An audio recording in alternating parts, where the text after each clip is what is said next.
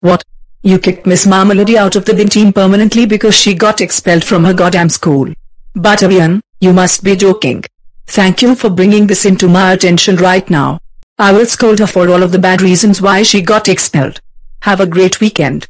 Miss Marmalady, you get your goddamn ass over here right now. You are in deep shit. Miss Marmalady. I just got off the phone from the Ween team, and they all said that you have been kicked out of them due to your sickening and disgusting behavior and got expelled.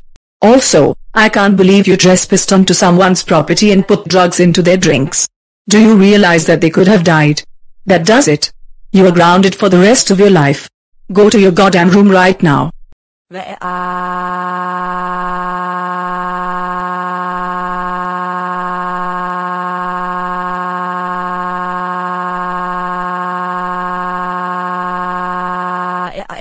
And if you do not stop crying like a Wiley Anderson, the Bean team and I will all use Varn logic to turn you into one.